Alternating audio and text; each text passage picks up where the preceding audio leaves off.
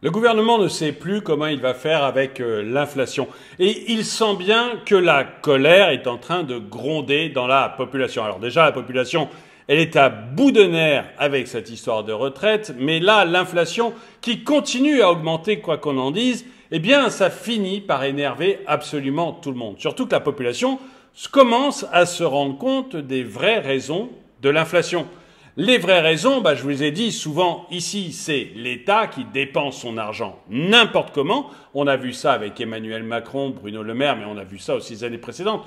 Emmanuel Macron et Bruno Le Maire ne l'ont fait que beaucoup plus que tous les autres. Donc, un État qui dépense beaucoup, beaucoup trop d'argent.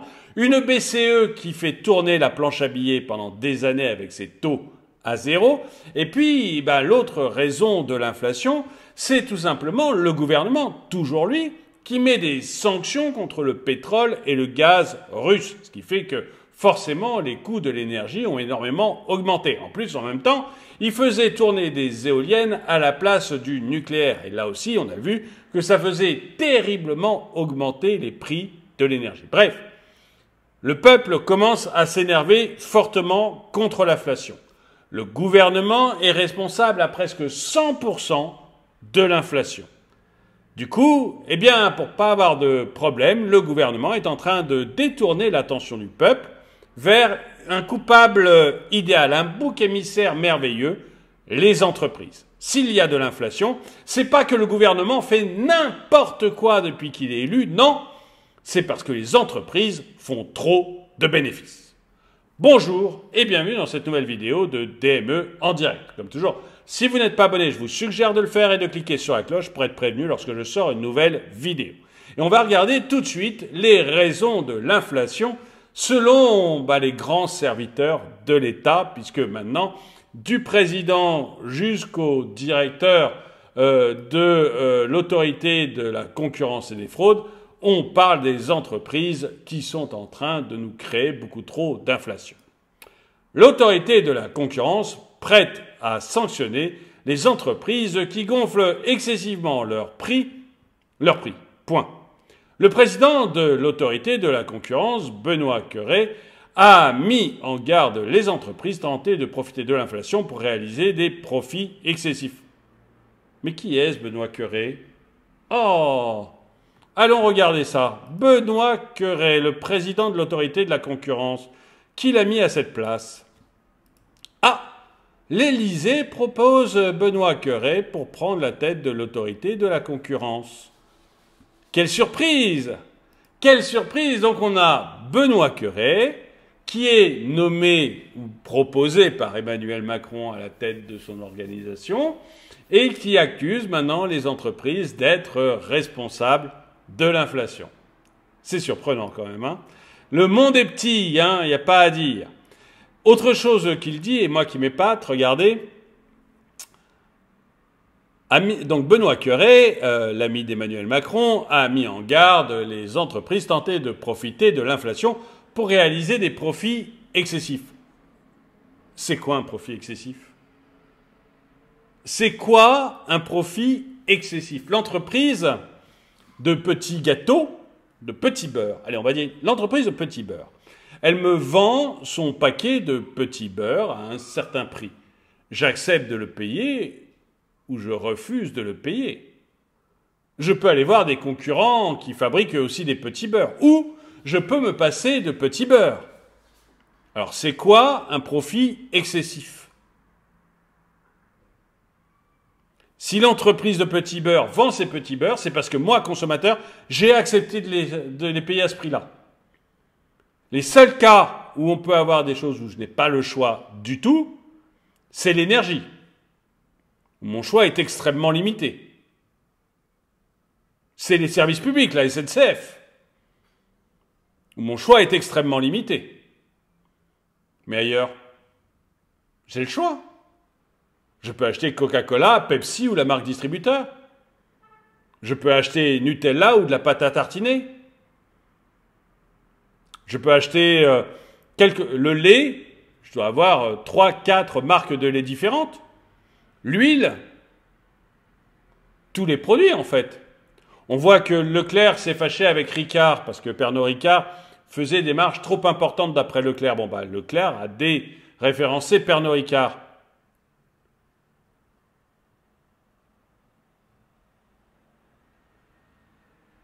Du coup, c'est quoi un profit excessif? Si je vais acheter du Pernod Ricard à Intermarché ou à Carrefour, c'est parce que j'ai choisi de le faire. Vous voyez, le, problème de profit excessif n'existe pas.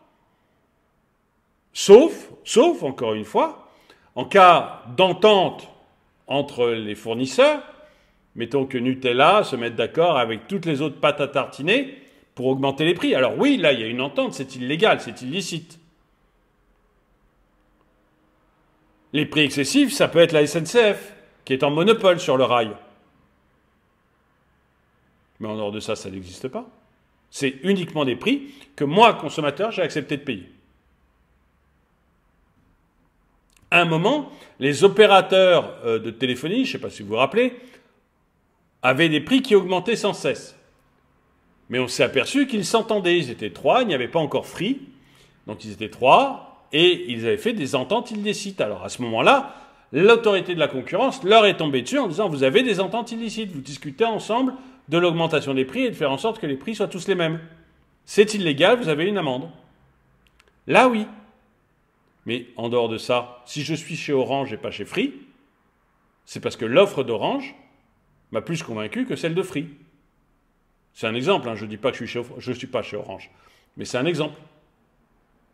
Donc vous voyez, les profits excessifs, à mon avis, dites-moi ce que vous en pensez dans les commentaires, mais pour moi, un profit excessif, ça n'existe que dans un cas, c'est là enfin que dans deux cas, le monopole quasi-monopole ou une, entente entre, euh, entre les industriels, mais ça c'est illégal. Sinon, il n'y a pas de profit excessif. Il y a un prix qu'on accepte de payer. Agitant la menace de les sanctionner même sévèrement. Ben, J'aimerais bien savoir comment tu vas faire, parce que je ne crois pas que, tu aies le droit, tout simplement j'ai la liberté des prix. En tant que, fournisseur d'un produit qu'entreprise, j'ai la liberté des prix. Je ne vois pas comment tu pourrais me sanctionner.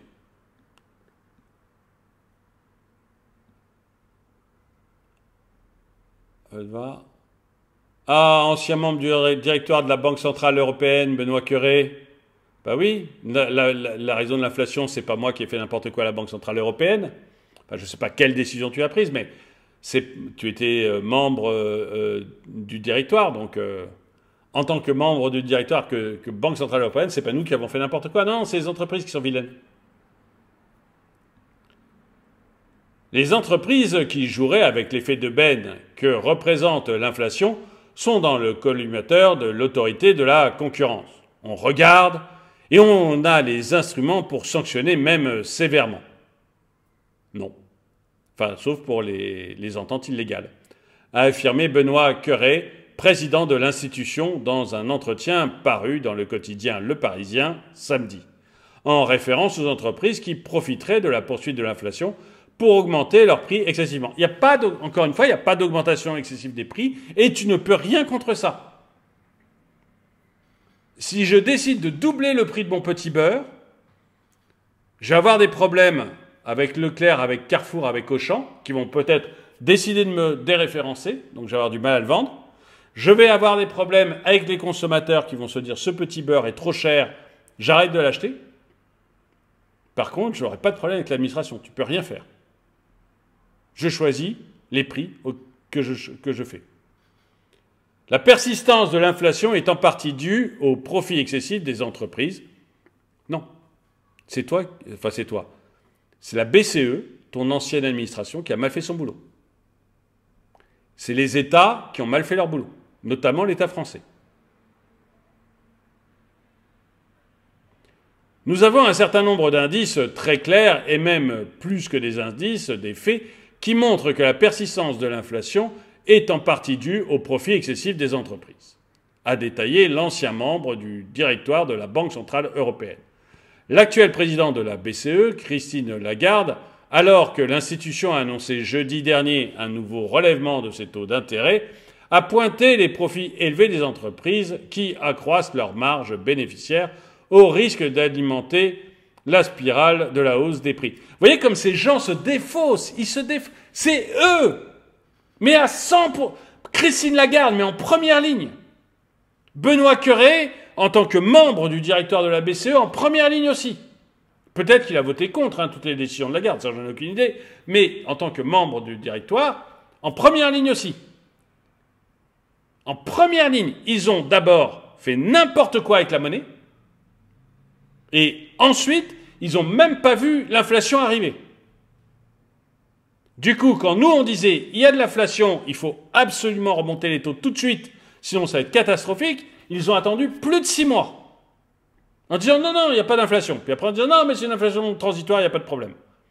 Parce qu'au moment, ils ont été obligés d'avouer leur erreur. Enfin, ils ne l'ont pas avoué, ils ont dit non, mais finalement, euh, il y a de l'inflation. Point. Mais c'est eux à 100%. Mais comme ils admettent, ils ne peuvent pas accepter, comme la Macronie, ils ne peuvent pas accepter le fait de se tromper, c'est les entreprises. Ils cherchent un bouc émissaire et l'entreprise, c'est le bouc émissaire facile, comme le riche. C'est les boucs émissaires faciles. Surtout en France, personne ne les aime. Euh,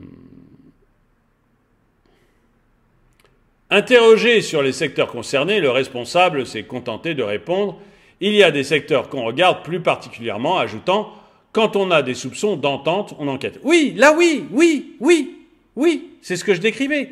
Il y avait une, entente entre les opérateurs téléphoniques, ils ont enquêté, ils se sont aperçus qu'il y avait effectivement une entente, ils ont sanctionné très bien. Très très bien. C'est leur métier. Attention, mon petit beurre, je veux doubler le prix, j'ai le droit. Par contre, si je m'entends avec tous les fabricants de petits beurres pour qu'on double les prix, j'ai pas le droit. Et là, effectivement, je peux me trouver avec des grosses amendes, peut-être même en prison, je ne sais pas. Mais vous voyez, c'est deux choses différentes. Deux choses différentes. On essaye de nous rouler, hein. on essaye de nous faire croire des choses qui ne sont pas vraies, des carabistouilles. On a un politique qui a été pris la main dans le sac dans l'incompétence, je ne parle pas particulièrement de Benoît Cœuré, hein, mais je parle d'un politique en général. Donc on a des politiques, on va dire, qui se sont fait prendre la main dans le sac tellement ils sont incompétents, et pour éviter toute sanction, ils nous font regarder ailleurs. Ils nous disent c'est pas nous, c'est eux. Vous laissez pas abuser par ça. Hein. Après un niveau record de 34% en 2021, le taux des marges des entreprises a atteint 30, euh, pardon. Après un niveau record de 34, je sais pas je crois que j'avais dit 24% en 2021, le taux de marge des entreprises a atteint 32% l'an dernier, proche de son niveau pré-Covid d'après la Banque de France. Bon bah alors, fait une marge comme avant le Covid. C'est mal? Une entreprise, son boulot, c'est de faire la marge la plus importante possible. Si vous faites une marge de 10% quand vos adversaires, vos concurrents font une marge de 20%, ils vont vous exploser en recherche et développement, ils vont vous exploser, ils vont pouvoir payer les meilleurs salaires à leurs salariés, ils vont pouvoir euh, euh, donner plus d'argent à leurs actionnaires, donc ils vont avoir beaucoup plus d'actionnaires que vous, leur entreprise va grossir beaucoup plus que vous, ils vont vous exploser sur tous les domaines. Et vous allez être vous allez vous planter. Sauf si vous faites du low cost. Mais ça, on est sur un cas, là, je ne compare pas une compagnie low cost et une, partie, une compagnie normale. Je parle de euh, deux compagnies normales. Vous devez avoir les, marges les plus importantes possibles. Sinon, ça va être la cata.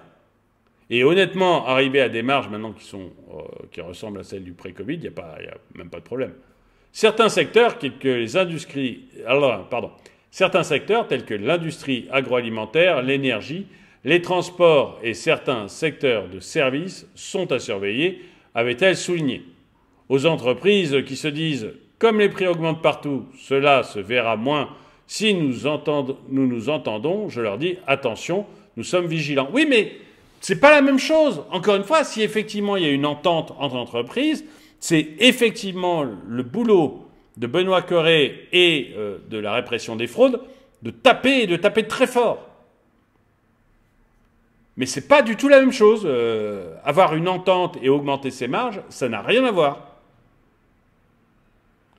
Qui met aussi en avant dans le quotidien l'efficacité de l'institution. Sur les dix dernières années, on a rapporté en moyenne à l'État 700 millions d'euros par an. L'an passé, on a infligé 468 millions d'euros d'amende, dont 300 millions pour EDF. Et oui,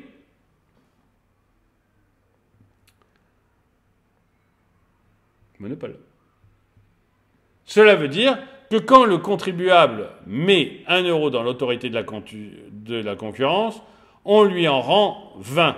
Alors là, on sent, qu'actuellement, euh, dans l'État, on est en train de parler de, sérieux budgétaire et de couper les, budgets. Hein. J'en ai parlé dans une autre vidéo ce midi.